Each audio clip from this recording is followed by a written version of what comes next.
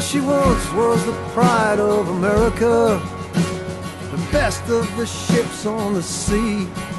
She was built fast and strong, about a thousand feet long, and was powered by engines of steam. Pleasure. Good to see you. We've not met before, but it's time we did. This is so yeah, pleased to see no, you. Pleased, pleased to see you. Thank, and that far from the end of your uh, thank you. No, I, I really your work has been really inspirational for me. So, thank you. And actually, I believe we did we did meet when I was about 10 years old. I went to the Titanic. So, Staples was kind enough not to staple all our copies yet.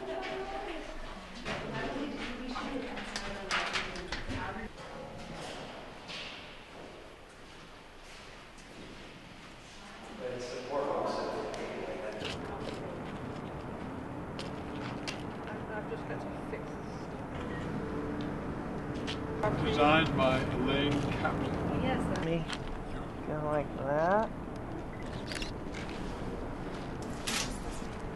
You want the folds more zoomed in.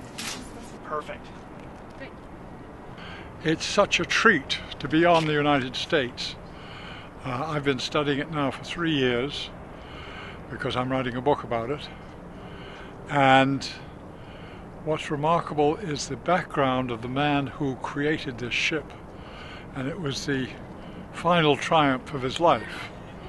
A life that had started earlier. William Francis Gibbs was the man who was the only, as far as I know, autodidact naval architect. He and his brother Frederick were self-taught. They just loved ocean liners and they designed a thousand foot ocean liner, two of them. And the United States' secret of its enormous power and speed was the fact that it had a very light hull. And that hull was lighter because 2,000 tons of those funnels behind us here and the superstructure uh, was of aluminum. And no such amount of aluminum had been used before to that extent in any construction, ashore or afloat.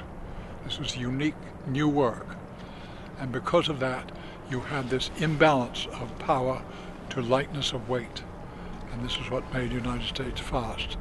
The other two secrets that Gibbs was very protective about was the flat underwater plating directly under the stern where we're standing now.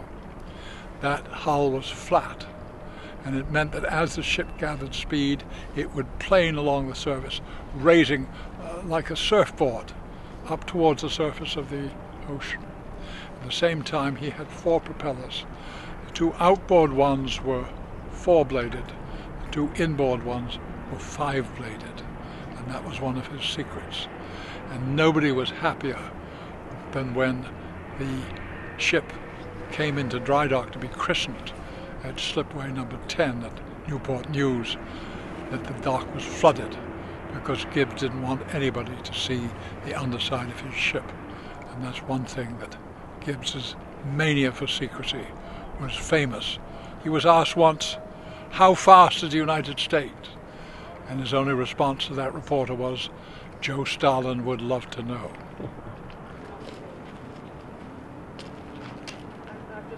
This is where a couple I interviewed were sitting on this side of the ship. And she was chronic with this.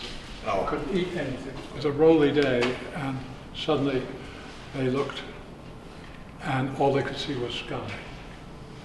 The sea had disappeared. right. And then the reverse roll happened. They went back again. All they could see was very angry waves.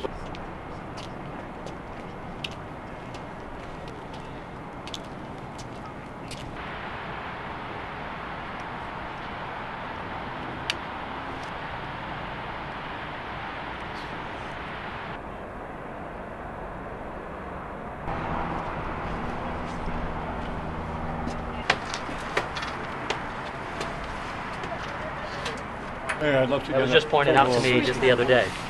Okay. Go from the side, you won't get a reflection. I'm going to say, out here. You're going up to the bridge? I have, I've, I've, You've done that part. Uh, oh, that's the exit. anything else? I, I didn't get PNS, which is kind of fun. It's just- You think that? These funnels were to have been the tallest ever on a ship. And Gibbs's funnels were not only taller, they were wider and deeper, fore and aft, and the footprints they filled were very solid. And they created a wonderfully staunch, elegant look that begged to be photographed. I can't think there's any first class passenger at least who didn't photograph wife or husband or child against these funnels. It was one of the great shipboard backgrounds. It was obligatory for every United States passenger. Just how she rests and she rusts, despite all of the efforts made. And now the procession is asking the question, can this great lady be saved? Yes, SS United States Conservancy. We're trying to save a part of our history.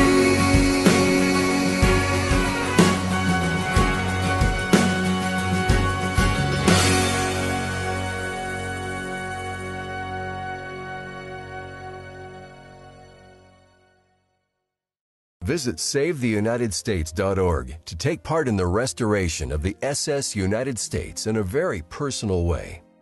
From your web browser at SaveTheUnitedStates.org, you can explore a detailed rendering of the ship and zoom in to select the piece of the ship you wish to save for only $1 per square inch. You can personalize your part of the ship by posting your own images and words. In addition, you can even select badges and colors to make your piece of the ship stand out. Once your donation is complete, you can share your creation through Facebook, Twitter, or email, allowing friends and family to link directly to your piece of the ship and start their own journey. As you explore the ship, see who else has joined the effort, view their photos, and read about their personal connections to the United States. Search every inch of the ship and find interesting facts about various onboard locations and explore our interactive timeline to gain a better understanding of the ship's rich history. Going beyond your donation, anything you discover at SaveTheUnitedStates.org can be shared through social media to help spread the word. A simple $1 donation can save a specific piece of America's flagship for yourself, your children, or your grandchildren. You can start right now from your computer. Go to SaveTheUnitedStates.org to help restore America's flagship. Remember, SaveTheUnitedStates.org. Thank you.